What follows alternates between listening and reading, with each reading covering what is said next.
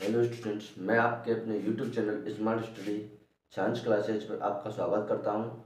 आज के इस वीडियो में हम क्लास इलेवेंथ केमिस्ट्री का चैप्टर तत्वों का वर्गीकरण एवं गुणों में आवर्तता स्टार्ट करने वाले हैं। चलिए तो इस वीडियो को स्टार्ट करते हैं, जिसमें पहली टॉपिक आता है हमारा आवर्त साड़ी किसे कहते हैं? क्योंकि इस चैप्टर को हम शॉर्ट में आवत साड़ी के नाम से ही जानते हैं तो पहला पहले आता है हमारा आवर्त साड़ी किसे कहते हैं? तो विभिन्न तत्वों को उनके गुणों में समानता के आधार पर, किसके आधार पर? समानता के आधार पर व्यवस्थित करने पर एक श्रेणी प्राप्त होती है, जिसे आवर्त सारणी कहते हैं। आधुनिक आवर्त सारणी में एक सौ अठारह तत्व हैं। कितने तत्व हैं? एक सौ अठारह तत्व, जिनमें से जिनमें से अधिकांश धातु, कुछ अधातु व कुछ उपधातु हैं। इसके बाद आती है कुछ वैज्ञानिकों का आवर्त सारणी में कुछ वैज्ञानिकों का योगदान। आवर्त सारणी में वैज्ञानिकों का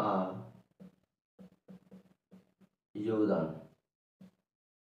इसमें पढ़ेंगे हम किन किन वैज्ञानिकों ने आवर्त सारणी के निर्माण में योगदान दिया था, जिसमें सबसे पहले वैज्ञानिक आते हैं आपके डोवेलाइनर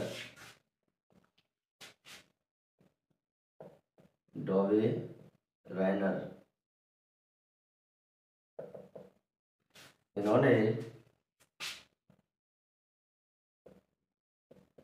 इन्होंने तीन तीन तत्वों के तीन तीन तत्वों के समूह बनाए।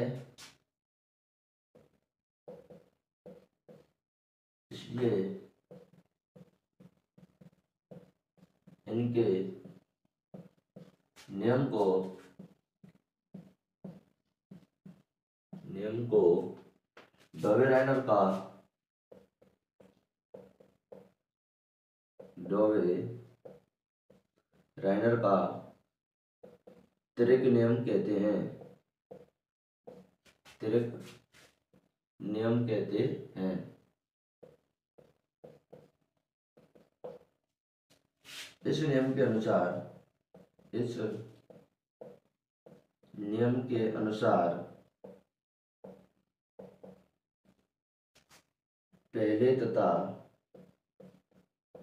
पहले तथा अंतिम तत्व का, पहले तथा अंतिम तत्व के परमाणु भारों का औसत परमाणु भारों का औसत मध्य वाले मध्य वाले परमाणु भार के मध्य वाले तत्व के तत्व के परमाणु भार के बराबर होता है। डोहरानंद ने बोला कि पहले तथा अंतिम तत्व के परमाणु भारों का औसत मध्य वाले तत्व के परमाणु भार के बराबर होता है। जैसे एग्ज़ाम्पल की बात करें हम। पहला लिथियम सोडियम और पोटेशियम परमाणु भार के लगभग बराबर कितना होता है? लगभग बराबर। हम देखें तो लिथियम का परमाणु भार सात सोडियम का तेईस और पोटेशियम का उनतालीस। यही तो होता है। अब इन दोनों को देखें, अगर इन दोनों का औसत निकालें तो सात प्लस उनतालीस बटे दो, इसी प्रकार औसत निकालते हैं उनतालीस और सात कितने होते फोर्टी सिक्स। अगर इसको हम दो से डिवाइड करेंगे तो आंसर आएगा हमारा तेईस। जो कि बीच वाले, यानी सोडियम के परमाणु भार के लगभग, यानी बराबर ही है। दूसरा एग्ज़ाम्पल आता है आपका। क्लोरीन ब्रोमीन और आयोडीन इनका भी आप निकाल सकते हैं। तीसरा आता है आपका कैल्शियम स्टोनशियम बेरियम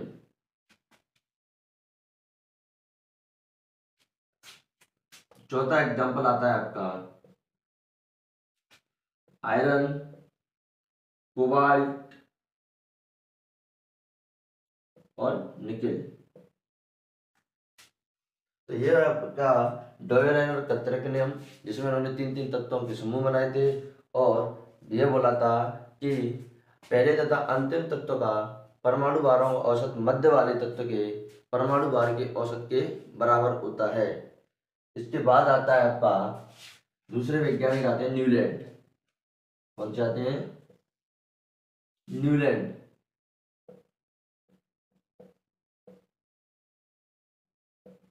पहले वैज्ञानिक थे आपके डॉविन दूसरे वैज्ञानिक है न्यूलैंड। इन्होंने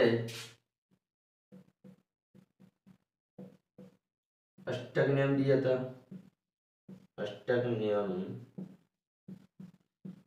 दिया था। इस नियम के अनुसार इस नियम के अनुसार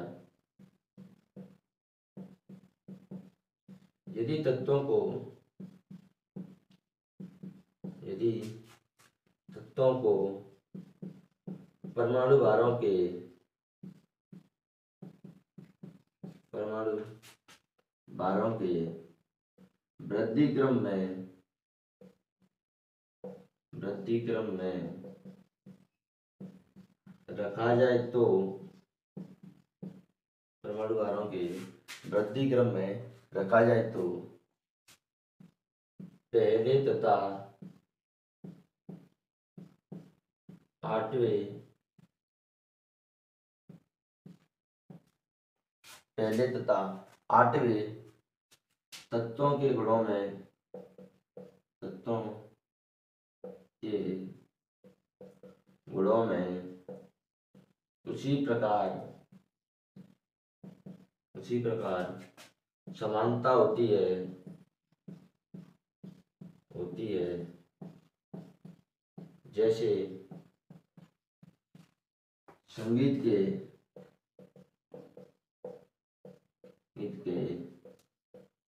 पहले तथा आठवें स्वर में होती है। स्वर में होती है।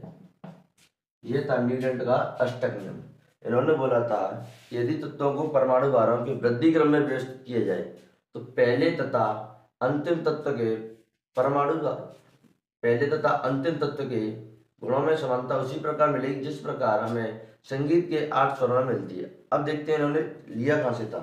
जैसे, lithium beryllium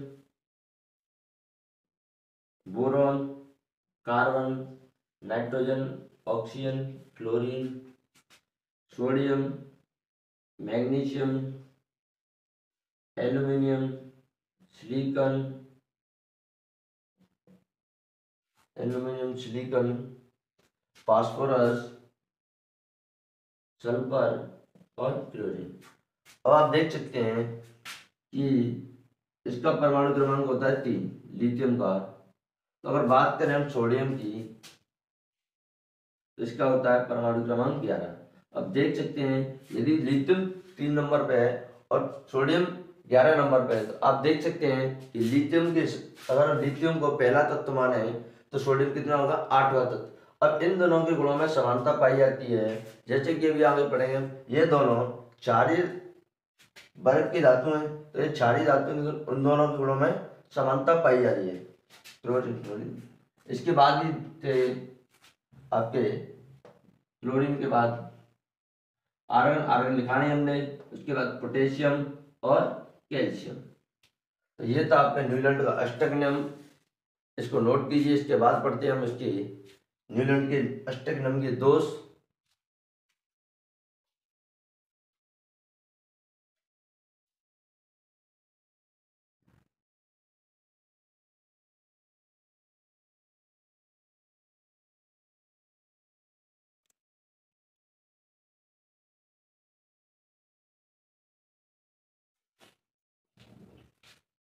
आपने लोड कर लिया होगा।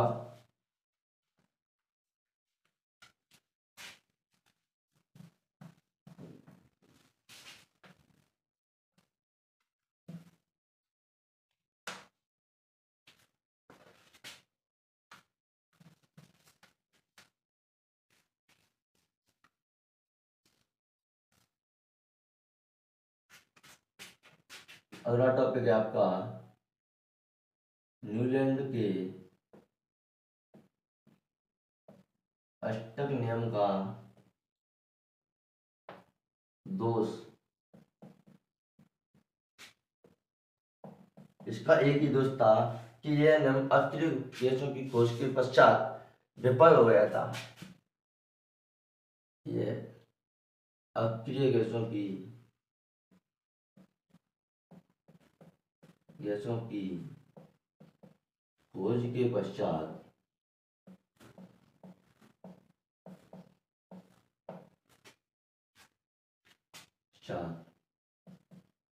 विफल हो गया। न्यूलैंड का अष्टक नियम अक्रिय गैसों की खोज के पश्चात क्या हो गया था? विफल। अब आपके अगले वैज्ञानिक आते हैं, लॉथर मेयर। Lothar mayor. पहले ही बता दूँ, ये लॉथर मेयर कोई पुरुष नहीं, बल्कि महिला है। क्योंकि कई बच्चों को कंफ्यूजन रहता है, नाम के हिसाब से देखें तो ये आपको पुरुष लगता है, लेकिन ये लॉथर मेयर पुरुष नहीं, बल्कि महिला है। इन्होंने एक वक्र के द्वारा आवत साड़ी को समझाया था अब ये वक्र क्या था ये देखिए।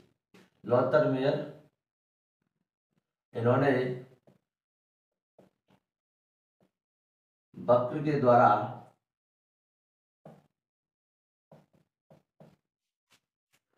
आवत साड़ी को आवत साड़ी को समझाया। उन्होंने आवत साड़ी को इसके द्वारा समझाया? वक्र के द्वारा। इन्होंने वक्र को भौतिक गुणों भौतिक गुणों जैसे घनत्व जैसे घनत्व गलनांक पतनांक परमाणु का आयतन परमाणु आयतन तथा परमाणु भारों के मध्य परमाणु बारह के मध्य से बनाया। के मध्य परमाणु के भौतिक गुण जैसे गलनांक, पतनांक, परमाणु आयतन और परमाणु भार